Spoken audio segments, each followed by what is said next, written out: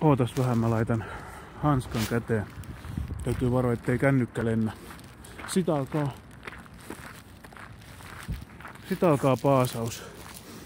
Öö, ei varmastikaan mikään looginen paasaus, mutta semmonen epälooginen maniapaasaus voisi olla tänään paikallaan. Onko mulla nyt lompakko ja kaikki? On. Voi vanhaa miestä silleen, että joutuu, nyt on kävellyt kaksi kilsaa ja nyt pitää kävellä seuraavaksi seitsemän kilsaa. Joten mä tarviin teitä henkiseksi tuekseni ainakin hetkeksi aikaa tähän näin. Että, että, että se on vähän niin kuin parisuhteessa silleen, että mä tarviin sua, mä rakastan sua, älä hylkää mua, vaikka sä vaan haluat käyttää näitä sanoja kahlitaksesi sen ihmisen siinä sun tota, hormoniryöpyssä tulee semmoinen omistamispsykoosi ja mustasukkaisuus ja kaikki ja tämmönen. Ja sit haluaa silleen, kaikki tämä on vain kemiaa vai onko? En tiedä. Mutta mä tarviin nyt kuitenkin seuraa, koska vanha ukko täällä jääräpäisenä hiihtää menemään kahden kassin kanssa. Kaksi kilsaa takana, seitsemän kilsaa edessä. Kovat, pahat tilanteet, kovat piipussa. Ja tota, koronavirus, oota vähän, pitää painaa kohta vähän nappulaa, että pääsee tuon tien yli. Niin koronaviruspsykoosit, olisiko ne tänään sitä ajankohtaiset, en tiedä vielä. Kohta ajanko auto alle. Niin tota, öö, pelkoon voisi sukeltaa. Mutta mä en ole vielä ajatellut niin pitkälle, kun mä en tiedä kuinka väsynyt mä olen päästyäni palopuralle. Öö, hetkinen. Olihan mulla käsikirjoituksia, mutta ne lensi vähän niinku tuulen mukana tossa, kun mä lähdin käveleen. Niin Fucking script will own the world, man. Niin tota... Niin tota, niin tota... En ole tosiaan käynyt Yligsel yhtään katsomassa, tai siis on käynyt Yligsel vitusti, mutta en ole tota, kattonut koronalankoja. Vuuhaa, vuuhaa, tiedättekö se räppibiisi I've got all in check. Vuuhaa, vuuhaa, ota mä hengestä. Niin tota, niin, niin, niin en ole tsekannut Wuhanin korona-updateja, vaan olen superhidennyt ne, niin en tiedä onko megakuolema tulossa. Vähän oli tuntemuksia tuolla kitalaissa siihen malliin, että voisikin olla tulossa joku megakuolema. Mutta niin kauan kuin vierivä kivi tai lihakivi, mikähän pullukka rasvakivi mä nyt onkaan, niin niin kauan kuin mä vyöryn täällä teitä pitkin, niin mä en tuu tuhoutumaan. Tai jos mä menenkin tuhoutu, tai jos mä tuunkin tuhoutumaan, tuun meen, hauska toi sanakombo. Jos mä olenkin tuhoutumassa, niin me palopurolle tuhoutumaan. Niin tota, siellä voisit kuolla rauhassa. Ja ehkä tulee tosiaan hysteriavideo silleen, että avaa ne kaikki ketjut, mitä on piilottanut, tsekkaa Iltalehden ja kaikki mestat ja katsoo, että kuinka paha tilanne on nyt. Että kuinka monta vahvistettua koronaa Suomessa. Viimeksi kun mä tsekkasin koronasetupit, niin siitä on jo monta päivää, niin, niin silloinhan mä tota, ihmiskauhut alert, mutta silloinhan mä tota,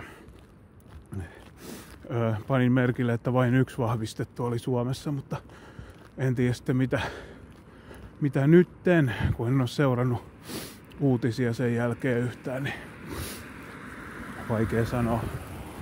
Täällä on paljon ty- ty- tyyppejä menossa töihin. Niin älkää käyttäkö kahlehtivia älkää käyttäkö kahlehtivia sanoja senkin aivokemia mongoloidit. Hyvä lause. Mä en, mä en osata sitä kenellekään. Mä vaan halusin päästä se ilmoille.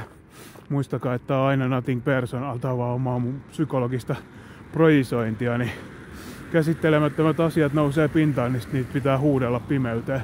Ja sitten silloin aina niin kuin collateral, eli sivulliset uhrit, olette te, rakkaat katsojat, siinä mielessä, että jos mä täällä päästelen edesvastuuttomasti asioita ulos suustani, niin kyllähän siihen aina joku takertuu ja huomaa, että olen full of shit sillä sektorilla, millä kulloinkin yritän maalailla jotain omia teo- teoreemoja.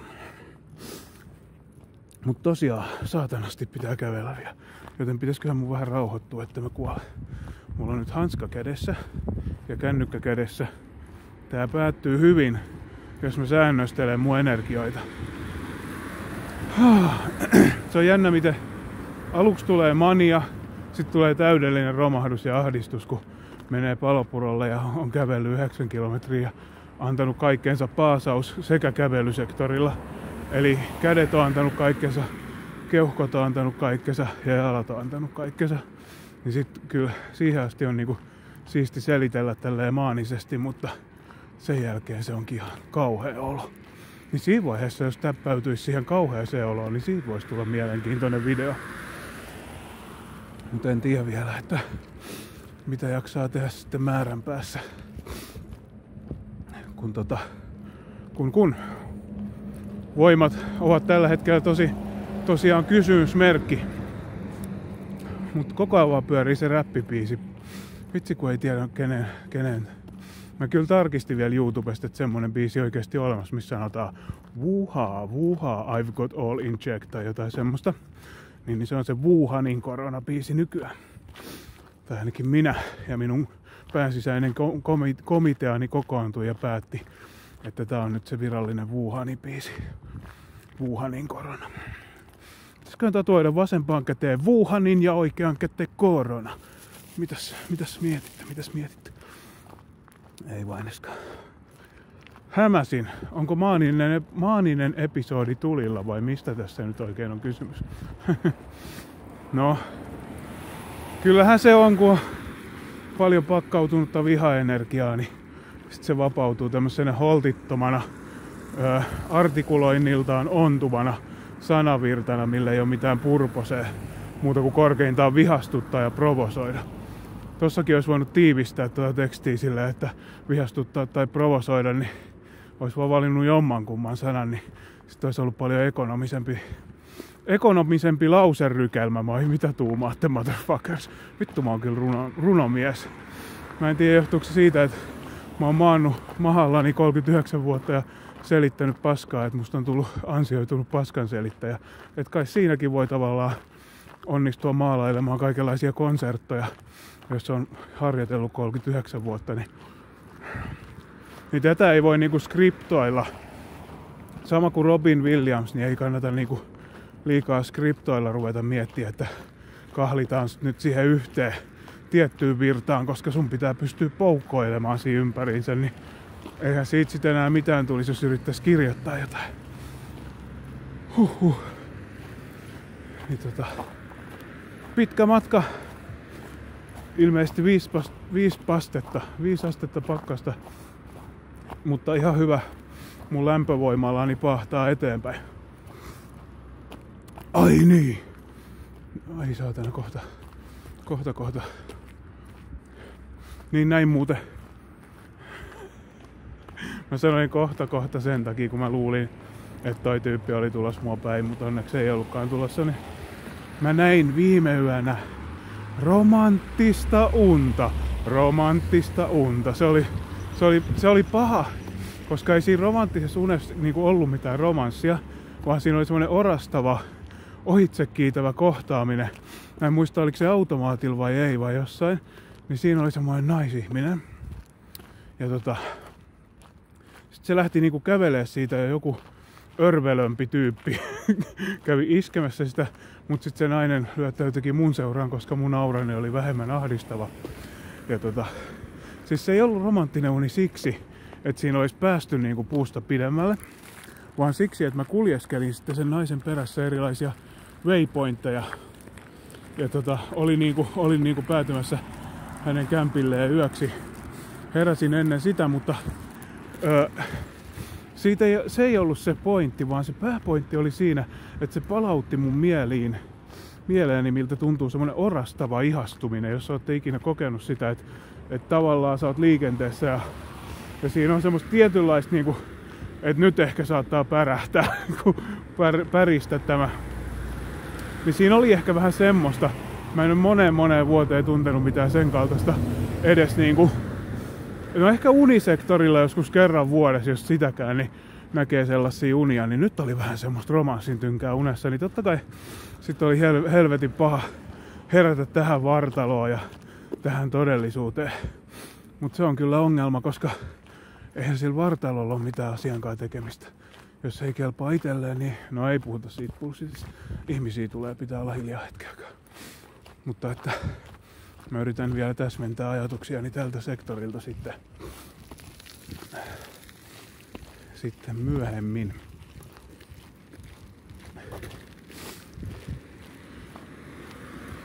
Mutta jotenkin, jotenkin, jos ei ole mitään verrokkikohtia sille että ei näe romanttisia unia, niin, niin silloin ei vituta. Tai vituttaa totta kai jatkuvasti, mutta noi tommoset hetkelliset niin kuin unenomaiset kokemukset, niin ne on niinku niitä, mitkä tuo sen kontrastin esille. Ja sit sä heräät sieltä sohvalta yksilös ja, ja tota, havahdut siihen, että kohta pitää kävellä 9 km ja, ja tota, vatsa vieläkin ihan kippurassa leu- leikkauksen tiimoilta ja tälleen. Niin ei oikein halunnut, ei olisi halunnut herätä tähän vartaloon. Olisi halunnut herätä vaikka siihen 2011 vuoden vartaloon mieluummin. uh, no mut fuck it. Hyvinkäällä muodostunut maailman parhaaksi lauseeksi tämä It is what it is, niin, niin sille voi aina todeta, vaikka kaikki olisi päin helvettiin, niin It is what it is, motherfuckers. Niin tota, uh, Mutta sehän siinä täytyykin muistaa, että jos sä näet romanttisen unen, niin, niin sehän, sehän just maalailee niitä pilvilinnoja, mitkä konkretisoituu siinä, että sä haaveilet parisuhteesta myös todellis, tosielämässä, koska siinähän on niin paljon taakkaa muutenkin mukana, että se semmonen alkumetrien hurmio, niin sehän on nopeasti ohi ja tilalle astuu raadollisuus, missä sun pitää kannatella ei ainoastaan itseäsi, vaan myös sitä toista ihmistä ja silloin sun on parempi olla kondikses, niin kuin pää ja keho, pää, keho ja mieli. Olla ihan motherfucking kondikses. Mutta jotenkin mä oon niin auttamaton romantikko huruukko, että mä jotenkin aina ajattelen, että no kyllä mä vielä laihdutan, että kyllä mä vielä tästä muutun tai muutan elämäni paremmaksi, että voisi olla jotain sutinaa taas. Niin mä niin kuin jotenkin elän sillä, että pitäisi aina olla jotain tai siis että haaveilee siitä. Vaikka ei mitään tapahtuiskaan, niin kuitenkin noi haaveet pitää mut niinku liikenteessä, että sit mä, eihän mun, ei mulla ollut niinku mitään syytä, niin kuin mulla ei ikinä olekaan mitään syytä nousta sängystä. Mut sit vaan pitää niitä semmosia omia haihatteluhaaveita ja elossa. Pitää niinku liekkiä yllä, että et toivo on, vaikka toivo on kohdistettu ihan väärille sektoreille ja toivo pitäisi muutenkin unohtaa. ei sillä, että heittäytyisi jonnekin toivottomuuteen, vaan se on niin kuin näiden kahden asian välimaastossa. Koska totta kai osa mun eksistentiaalisesta kriisistä on ollut sitä, että mä oon ladannut kaiken toivoni kaksikymppisenä johonkin parisuhteeseen. Ja sitten kun se on nähnyt käytännössä, niin sitten tippuu vähän tyhjän päälle, että pitäisikö mulla ladata seuraavaksi mun kaikki toivoni työsuhteeseen vai uskontoon vai mihin. Niin you'll be the jutke of that. Koska niin parisuhde kuin työsuhdekin, niin siinä on sen hyvät ja huonot puolet. Että ei se ole yksi kantaan silleen auto tulee ikävästi. Ei se ole yksi kantaan niin kuin hyvä tai huono juttu. Mä väistän sitä tälle autistisesti sitä autoa. Molemmissa on puolensa. Niin tota, no tää on kyllä niin hyvä Ramblings of a Madman video nyt, että, että tota, kaikki paska saa sama, sama vanha paska käydään läpi ja mä en ole varmaan vielä kävellyt käytännössä yhtään kilsaa tässä. Mä oon vasta tossa kylmäasemalla vai mikä toi on, missä ei ole miehittämätön tommonen pensa-asema. Niin tästä on vielä aika monta kilsaa himaa. Vois vaihtaa kättä väliin. Mut tosiaan, omistamissanoja mä tarviin teitä tälle, tälle reissulle. Mä otan teidät ehdottomasti seurakseni.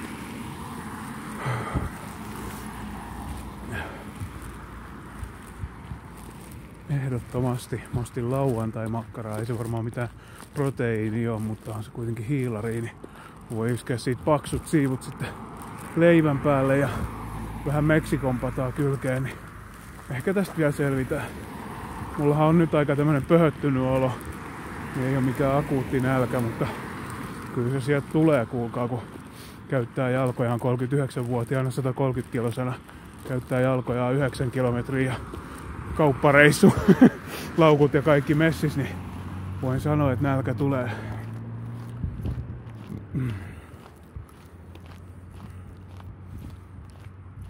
Uhuh. Onko muita puheenaiheita? No, täytyy tosiaan harkita, että mikä on jaksaminen, että vajotaanko tänään pelkoon. Mä otin myös kameran mukaan, jos mulla on joku laturi, laturipiuha siihen tuolla, tuolla tota kämpillä, niin sit voisi ehkä käydä jotain metsävideoa kuvailemassa, mutta en sitoudu tässä vaiheessa mihinkään, koska en tiedä minkälaiset olot tulee olemaan ja näin poispäin. Mutta hankkeita on kuitenkin. Ja kaikenlaisia hullun hauskoja videoideoita, millä mi, niin kuin teidän päävaivaksi pohdittuna jo valmiiksi. Mutta tosiaan ää, masennusta, kun on tässä vähän tuluksilla ollut, niin, ää, niin ei varmaan tule kauheasti kiinnostusta tehdä yhtikäs mitään, mutta toisaalta mä oon opetellut viime aikoina toimimaan vähän se masennuksen ulkopuolella, joten never say never. Näinhän se menee. että haamumina nousee ylös ja raadollinen masennusminä jää makaamaan. raadollinen masennusminä. Kuinka rakastankaan sanavalmiutta, niin teidän positiivinen palaute on tehnyt musta liian itseriittoisen paskapään, kun mä oon niin jotenkin self-worship-modessa aina kun mä tota teen näitä videoita. Ah, pitää siitäkin luopua, sillä hänken itsensä ylentää, hänet alennetaan. Mutta eikö se toisaalta riitä, että mä alennan itteni päivittäin niin tehokkaasti ja masennus alentaa ja kaikki alentaa. Niin punainen naama, nyt musta tuli piru. Kauheeta. Mut joo, eiköhän mut alenneta. Mä olen semmonen autonominen alentaja.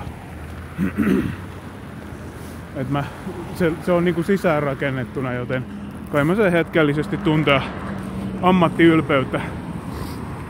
Ja mitä tulee my- myös ammattiylpeyteen, niin nämä mun YouTube-videot, niin nämä on kuulkaa taidetta. Mutta sitten kysytte, että ei varmasti ole, että miten pystytkö perustelemaan tätä, niin pystyn. Se on niinku, että ihminen on kävelevä taideteos siinä vaiheessa, kun se on tehnyt.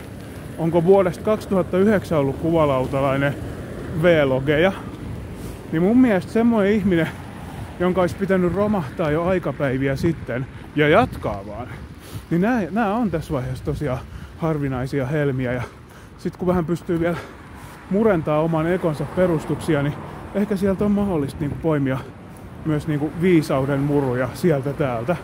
Onpa punaista, onpa punaista tosiaan, mutta, mutta tota, niin mä koen, että tämä kuvalautalaisen nämä, nämä vuodet, mitä nyt eletään, niin ne on ollut kyllä taidetta, pahemman luokan taidetta. Vaikka se olisi sitten vaan tutkielma romahtavasta mielestä, niin silloinkin se olisi taidetta mun mielestä. Kun kuitenkin kykenee antaa itsensä tällä tavalla, tai kykenee antamaan itsestään siinä mittakaavassa, että siitä tulee tämmönen mun mielestä taideteos. Mutta joo, siinä ovat mun argumenttini ö, puolesta, niin voitte esittää vaikka vastaan, niin neuvotellaan sitten. Mutta ei tietenkään neuvotella, koska tämä on semmoista huutamista tuulitunneliin kuitenkin, että kun ei ole kysymys siitä, että siinä oli pieni ihmiskauhupaussi, niin tarkoitin siis, että että tota, enhän mä lue kommentteja, kun en mä uskalla lukea kommentteja. Mutta voin mä sitten joskus, kun se on vähän sama kuin Wuhanin korona, että jos niinku haluu mennä ja injektoida itsensä täyteen pelkoa, niin menee kommenttipalstalle ja iltalehteen. Yeah, come on, baby. Ja sit lukee sieltä kauhuja ja tutkii viruksia. niin tota, kyllä se on, kun, eikö se ole olemassa semmoinen sanonta, kun krapula tulee, mutta minä valitsen päivän. Niin mulla se on. Kauhut tulee, mutta minä valitsen päivän. Okei. Okay. Huhhuh. Olisiko tää nyt tässä sitten? Mä en tosiaan tiedä milloin tulee kauhujen podcast. Kato kun pitää sukeltaa kuitenkin koronan maailmaa ja ö, friikauttaa itsensä pahimman kerran, niin, niin se voi tulla kans.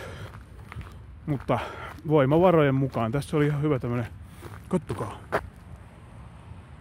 Wow. Mm-mm. yksinäinen hyvinkääläinen filosofi, joka on tajunnut melkein elämästä kaiken. Siltä toi, siltä toi naama mun mielestä näyttää tänään. Tajunnut melkein kaiken vittu. Astunut kulissien taakse. Nähnyt puppeteersit. Nähnyt tota kulissien takana toimivat nukkemestarit, kun ne liikuttelee mua kuin jotain räsynukkeja seuraavasta objektiivista seuraavaa. Nythän oli tullut joku, joku tota, depunkkaamis, olikohan video tai jotain, missä puhuttiin siitä, että vapaa tahto ei oliskaan illuusiota, niin mä haluaisin kyllä nähdä ne argumentit. Ja siis totta kai mun olisi pitänyt olla vahvempi ja selvitä ja hoikistua ja vastustaa suklaan kutsua, niin silloinhan mun on helpompi niin kuin omassa mukavuuden, omalla mukavuusalueellani todeta, että olen voimaton ja pyörin vaan täällä mielenterveyden, mielenterveysongelmien tyrskyissä ja hyrskyissä, joten en aio edes yrittää. Mutta mä oon saatana yrittänyt. Mä oon taistellut kaikin voimin tässä elämässä, vaikuttanut ihan saatanasti ja romahdellut ja etsinyt seuraa ja romahdellut ja löytänyt ja, ja tota, siis, mä oon yrittänyt niinku rimpuloida näissä kaikissa, mitä on näitä objektiveja, mitä maailma sun, elämä sun heittää ja uskottelee, että nämä on niitä, mitä sun pitää tavoitella, niin mä oon yrittänyt leikkiä niissä kaikissa ja olen leikkinyt niillä kaikilla hiekkalaatikoilla ja kaikissa potkittiin hiekkalinnat paskaksi ja lens, lens tota, lapio sinne tien sivuun ja sanottiin, että yhyymäen ala. niin se on niinku elämän reality, motherfuckers. Se on niinku sitä totista totta. Että voidaan me niinku leikkiä vaikka. No okei, työelämäleikki. Jos olisi löytänyt töitä ja mennyt armeijaan. Ei vain Ei puhuta enää näistä samoista luuppaavista keloista. Mä haluaisin jo kuoriutua kuin perhonen uusiin luuppeihin, enkä näitä vanhoja enää jaksaisi. Mä haluan keksiä jotain uutta. Uutta saatana. Mutta ootteko nauttinut mun värikkäistä kielikuvista? Jotenkin eko pullistuu ihan saatanasti, kun kieli laulaa kuin kieli. Mut freestyle-räppi multa ei vielä onnistu. Mä yritin tossa eilen vai milloin mulla oli semmonen aika hehkeä hoppibiitti siinä ja mä rupesin vetää siihen. Mulla vaan silloin joskus oli se, mä oon anonyymi rap tosi kauan aikaa sitten, että miten se meni. Mä kuvalauta selaa, mä hentai pelei pelaan, öö, jotain bla bla bla. Mä oon senkin jo unohtanut, kun, kun, kun elämä vaan menee ja mieli rapistuu ja vatsa on kippurassa leikkauksen tiimoilta, niin se on kyllä jännä juttu nähdä, että noustaanko tästä enää ja mi- sit pitäisi oikeasti määritellä se, että mitä on nouseminen. Koska nythän mä elän mun peak performance lifea ainakin tupettamisen saralla, että ei tätä paremmaksi voi enää tulla. Nämä niinku setit. Et seuraava on sitten taas sitä hoikistumista ja miellyttämis, miellyttämissektoria ja riikinkuko höyhenillä koreilua ja jonnekin parisuhdemarkkinoille tähtäämistä, joten jokainen voi siinä vaiheessa kysyä itseltään, että onko se sitten se mielekäs elämä, mitä haluan elää. Niin, pitikö mulla lopettaakin tää video? En tiedä. Et pitäisikö niinku vetää loput vuodet vaan tämmöisenä performanssitaiteena? Maksimum pullukka. Silleen, että syö vasemmalle oikein englannin lakuja suklaata. Nyt on taas ruvennut maistua ja pötsi paisumaan, niin, niin pitäisikö vetää tota kun, kun sit kuitenkin silloin, kun tulee noita saatana romanttisia unia, niin on silleen, että ei saatana, kyllä voisin vähän laihduttaa ja vaikka kesällä 2021 olla, olla edes vähän paremmassa kunnossa ja sitten lähteä taas lirkuttelemaan. mitä vittua? Kattokaa miten siisti. Fuck. Tuollainen outo sininen. Ei, mieli tarjoilee vaan näitä tämmösiä niinku ansalankoja aina välillä, psyykkisiä ansalankoja, että että oh, muistaaksä sitä, sitä, sitä hehkeetä aikaa ja kukkaistaan se. Hyvä, kun meidän mieli kuitenkin salaa meiltä silleen, vetää ikään kuin verhon niiden negatiivisten muistojen päälle ja sitten muistaa vaan ne ruusuisat hetket. Ei sekään kyllä pidä paikkaansa. Kyllä mä nykyään muistan kokonaisvaltaisemmin kamppailut ja kaikki, mutta on siellä ollut kyllä kauniitakin hetkiä siellä muistoissa. Tai siis se et voi sanoa menneessä aikamuodossa, koska onhan ne olemassa siellä muistoissa, mutta ja sitten tulee taas joku buddha sönköttää, että älä elä menneessä, äläkä tulevassa. Ja näinhän sen pitäisikin olla, mutta, mutta kun mun on nyt pakko elää menneessä, kun vatsa on jotenkin niin tiltissä. Ei niinku super, en yritä tässä huolestuttaa ketään, koska sehän olisi vihoviimeinen temppu ja edesvastuutonta tupettamista, mutta kuitenkin on ollut semmosia kipuja.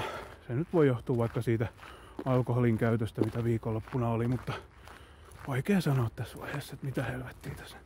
Tää on niin rauhallinen tää sivutie, että täällä olisi ollut kiva tubettaa. Ehkä mä Ehkä mä yritän sitten jatkossa tubettaa vasta täällä rauhallisella sivutiellä. Mut nyt piti sitten tubettaa, kun oli niin kova kiire tubettamaan, kun en mä jaksa olla yksin ja teidän kanssa on niin kiva hengailla. Niin tota, autoitte mut kuitenkin tosi pitkälle tässä mun kävelyhankkeessani. Mulla on tässä vielä totta kai matkaa taitettavana, mutta, mutta te olitte mun seuraanani niin pitkälle ja niin sydämellisesti, että mä en voisi toivoa teiltä enempää. Olette auttaneet paljon. Joten kiitos, että katselitte ja mä siirryn nyt kännykkäpelien ihmeelliseen maailmaan ja rauhallista viikon alkua kaikille. Vai tiistaita, en tiedä. Joku semmonen. Moikka!